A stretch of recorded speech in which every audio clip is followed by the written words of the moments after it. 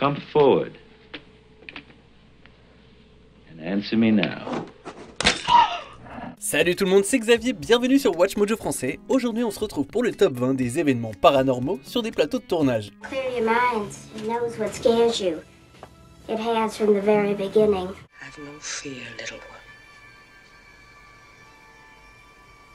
I am here to protect thee. If she's still here, then it won't be quiet. Pour cette liste, on s'intéresse aux fois où des phénomènes paranormaux se seraient vraiment produits sur le plateau de production audiovisuelle. Notez bien que tout ça est supposé, hein, et donc, avec ça en tête, et vu la nature de la liste en elle-même, prenez ces histoires avec des pincettes. Laquelle de ces histoires peut potentiellement vous empêcher de dormir? Dites-le nous en commentaire. Numéro 20, Terreur nocturne, The Innkeepers. Why are you acting so weird? I'm not. Ce film peu connu mais pourtant flippant à souhait, sorti en 2011, a été filmé dans un vrai lieu, à savoir l'auberge historique du Yankee Pedlar. L'auberge en question a la réputation d'être hantée par le fantôme de l'ancien proprio qui a passé l'arme à gauche dans la chambre 353 du bâtiment. Le réalisateur, T. West, était un sceptique pur et dur au début de la production, mais il s'est mis à revoir ses croyances car de mauvais rêves et des événements étranges ont touché l'équipe. Hang on. Hear something. Dans une interview donnée à IndieWire, West a parlé de portes qui s'ouvraient et se fermaient toutes seules, d'ampoules qui grillaient et de rêves étranges faits par pas mal de membres de l'équipe de tournage, dont l'actrice Sarah Paxton, qui a même senti une présence dans sa chambre à plusieurs reprises. Space. There's blood everywhere. It's okay. Please, please, please just get me out of here. I don't want to be here anymore, please. Numéro 19, Les mains invisibles, ma vie avec Liberace. What would you like to do with your life, Scott? What's what's your dream? I want to be a veterinarian. Oh, don't you just love animals? Ce biopic sur l'artiste légendaire qui était Liberace est passé inaperçu pour beaucoup de monde. Pourtant il vaut le coup alors n'hésitez pas à le regarder si vous en avez l'occasion. Réalisé par Steven Soderbergh et avec Michael Douglas dans la peau du fameux pianiste prodige, on rapporte que le plateau aurait été visité une fois ou deux par le fantôme de l'homme en personne. Good morning. Apparemment, Douglas et son collègue Matt Damon ont senti des mains invisibles les toucher et l'odeur très forte d'une autre Cologne aurait hanté le plateau. He's lonely. I can take care of him. And he can take care of me. Je me dois dans l'obligation de préciser que cette histoire nous vient d'un tabloïd américain, The National Enquirer, donc c'est à prendre avec des pincettes là aussi. You are a well known star. Are you out of your mind going to a place like that? What if somebody recognized you? Numéro 18, le sous-sol hanté, The Lords of Salem. Je vous mets au défi de trouver un endroit plus flippant qu'un vieil hôpital abandonné.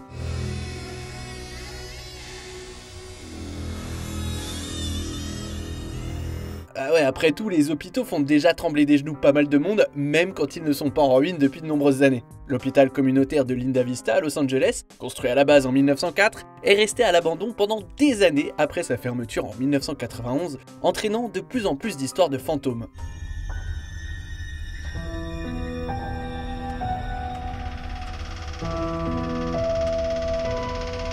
Le site a même fait l'objet d'un épisode de l'émission Ghost Adventures. Les acteurs et l'équipe du film de Rob Zombie The Lords of Salem, sorti en 2012, auraient fait des rencontres inquiétantes pendant le tournage. Beaucoup seraient même tombés malades après avoir filmé dans le sous-sol. C'est probablement la faute de moisissure, mais qui sait?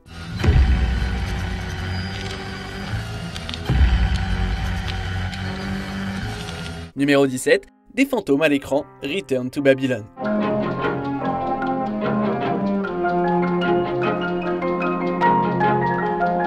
Si les histoires de tournage hanté sont légion, ce croisement supposé entre le surnaturel et le 7ème art est du genre unique. Ce film peu connu aurait été fait en utilisant une boîte de bobines de 16 mm très mystérieuse, retrouvée sur un trottoir par le réalisateur Alex Monti Kanawati. Après avoir décidé d'utiliser le celluloïd en question pour créer un film dans le style des films muets des années 20, Kanawati et son équipe ont été surpris de réaliser que les images qu'ils avaient tournées étaient envahies par des silhouettes spectrales et d'étranges distorsions, poussant à affirmer que le film en soi était hanté. C'est clairement une histoire très intrigante, même pour quelqu'un de sceptique. Et d'ailleurs, le récit en lui-même donnerait lieu à un super film, je pense.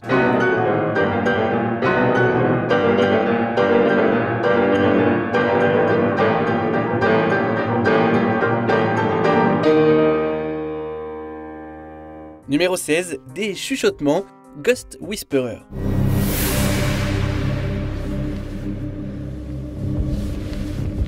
bad one? The usual. Oui, ok, c'est une liste de films, mais fallait que je parle de celle-ci. Cette série avait à l'affiche l'actrice en vogue des années 90, Jennifer Love Hewitt, dans la peau d'une antiquaire qui possède la capacité de voir et de communiquer avec des fantômes. Why is he still here? Ghosts have no real sense of time.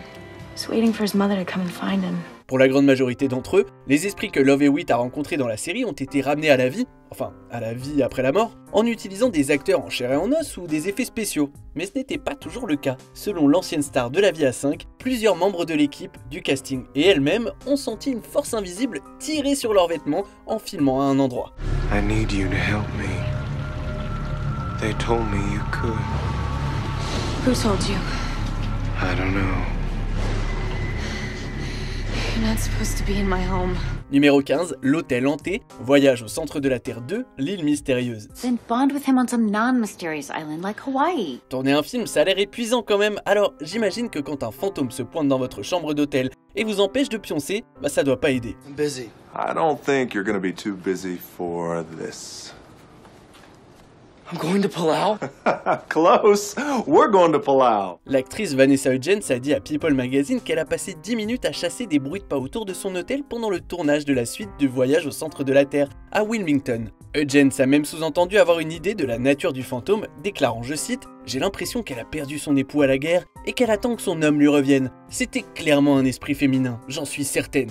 Fin de citation. Bah, qui suis-je pour la contredire, hein? Are we there yet? We get there when we get there, Gabby. What was that? Numéro 14, Intervention divine, la passion du Christ. Hu Yeshua, Maragasha, Din. Jouer Jésus-Christ doit forcément mettre grave la pression, pour des raisons évidentes. Enfin, je pense. Tout acteur qui accepte ce rôle va forcément faire face à des critiques très prononcées et la performance va être examinée à la loupe, etc. Mais bon, normalement, tout ça, ça vient de sources, comment dire, terrestres. Pendant le tournage du film polémique de Mel Gibson sur les derniers jours du Christ, l'acteur Jim Caviezel a été frappé par la foudre. Ce n'est pas le seul, puisque l'assistant réel Gian Michelini a aussi été frappé plus tôt dans la production. Si j'osais, hein, je dirais que ça ressemble à un cas de critique céleste. Peut-être que le grand boss, là-haut, considère Caviezel comme une erreur de casting.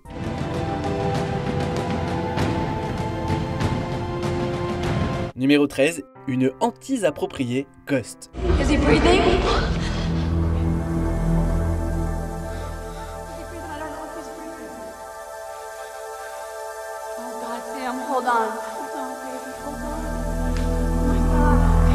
C'est moi ou les films qui nous montrent des fantômes et d'autres trucs flippants ont une tendance à se faire a priori hanter pour de vrai. Bien que rien ne prouve définitivement que le plateau de ce film au titre très approprié ait été hanté, reste qu'une grosse partie du tournage a eu lieu dans le fameux studio numéro 19 de la Paramount, surnommé Paranormal Paramount pour son historique de trucs qui foutent la chair de poule.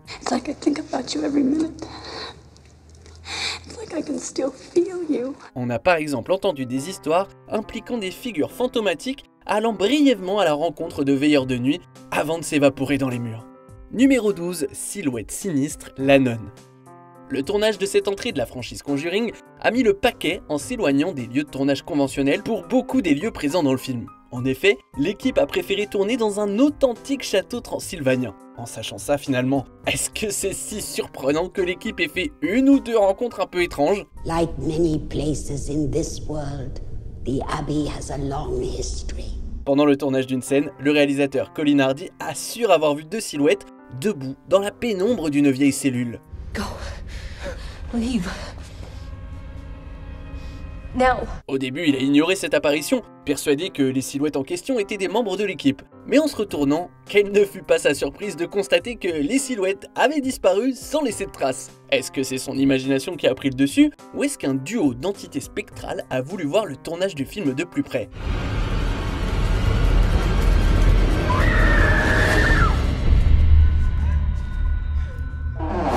Numéro 11, Quand la vie imite l'art, Conjuring, les dossiers Warren. Ce film est basé sur l'histoire de véritables parapsychologues qui ont cherché à délivrer une maison du mal qu'il habitait. Rien de bizarre jusque-là. Mais quand la vraie famille Perron, c'est-à-dire les propriétaires de la maison originale, est venue visiter le plateau de tournage, des choses étranges se sont déroulées. À leur arrivée, tout le monde a senti une énorme brise d'air. Sauf que les arbres des alentours n'ont pas bougé d'un pouce. Même la mère Perron, qui n'était même pas présente sur le plateau, a dit avoir senti une présence avant de s'évanouir et d'être transportée à l'hôpital. Numéro 10, le réveil matin hanté, l'exorcisme d'Emily Rose. Emily? Vous vous êtes déjà demandé si en jouant le rôle de quelqu'un de possédé, on pouvait finir possédé pour de vrai? Parce qu'ici, ça semble être le cas. Jennifer Carpenter, qui a incarné Emily Rose, dit qu'elle a senti une drôle de présence dans sa chambre d'hôtel pendant le tournage. Même son réveil semblait avoir perdu la boule, puisque celui-ci se déclenchait aléatoirement pendant la nuit en jouant la chanson Alive de Pearl Jam à chaque fois. Et plus précisément, les paroles I'm still alive, qui veulent dire Je suis toujours vivant. Je sais qu'à la radio, ils ont tendance à marteler les mêmes chansons, mais là, c'est chaud, non?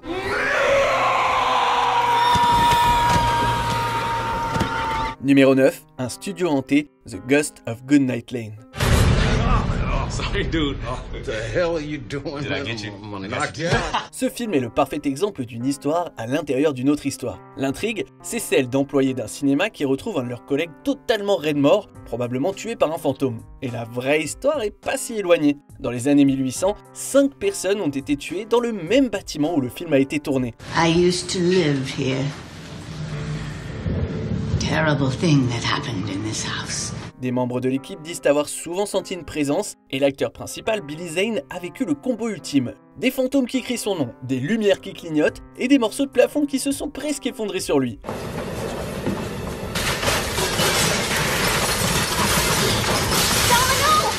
Numéro 8, le couteau de Rosemary, Rosemary's Baby. I look awful.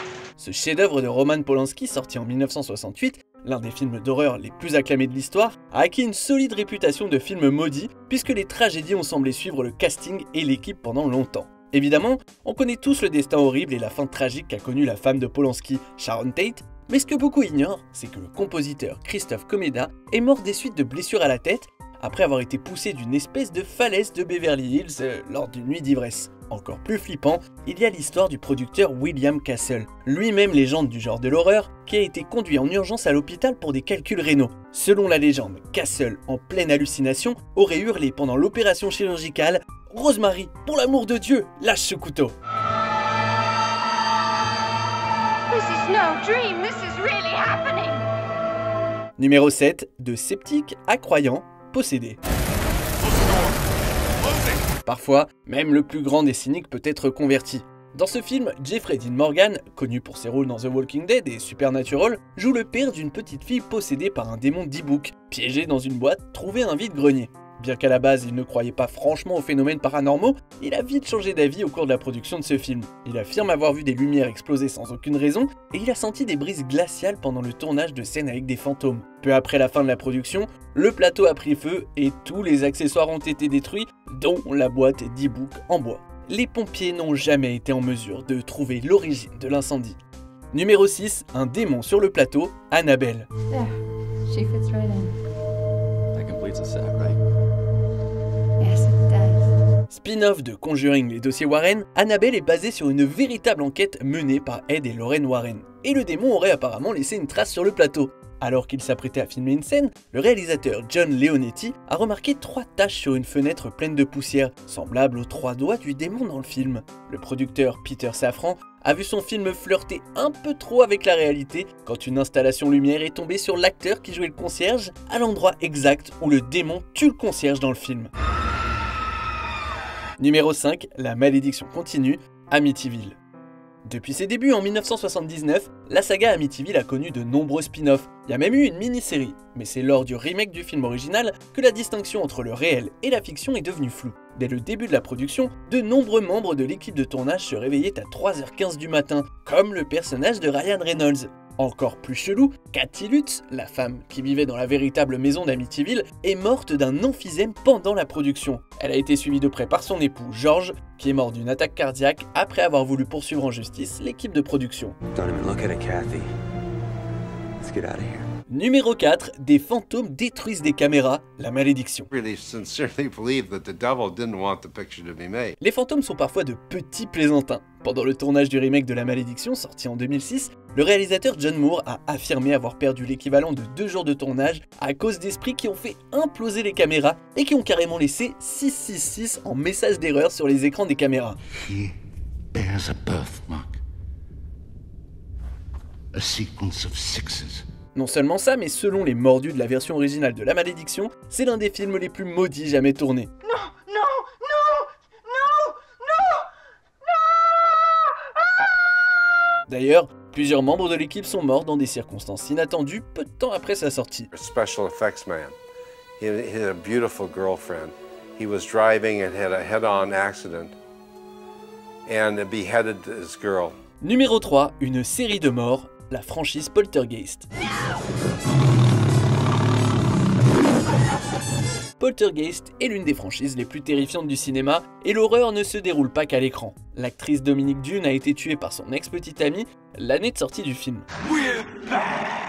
Avant la sortie du troisième opus, la jeune actrice Heather O'Rourke est décédée d'un choc septique après avoir souffert d'une occlusion intestinale aiguë. Ces tragédies ont hanté ceux qui ont participé à la franchise. La faute a été rejetée sur les accessoires, vu qu'ils ont par exemple utilisé de vrais squelettes qui auraient jeté une malédiction sur la franchise. Numéro 2, la robe hantée, Dorothy Dandridge. It was one kiss. That's all, one kiss. Faites gaffe à qui vous empruntez des fringues. Ali Berry a appris cette leçon avec le tournage de ce téléfilm. Pour se glisser plus facilement dans la peau de Dorothy Dandridge, Ali Berry a ramené chez elle une robe autrefois portée par la diva dans la vraie vie. En l'essayant, elle a trouvé ça étrange que la robe lui aille parfaitement, comme si elle avait été faite sur mesure pour elle. Elle dit avoir ensuite entendu de l'eau bouillir et avoir vu une robe de poupée flotter dans les airs en face de la robe de Dandridge.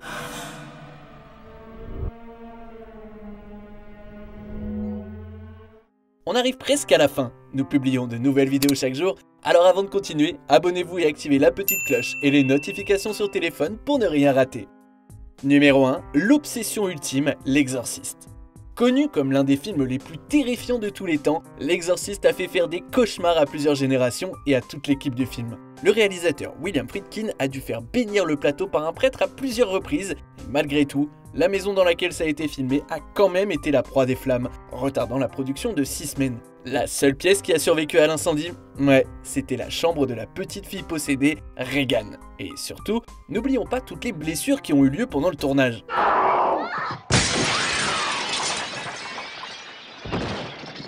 Mais étant donné l'immense succès qu'a connu le film par la suite, j'imagine que certains pensent que tout ça en valait la peine.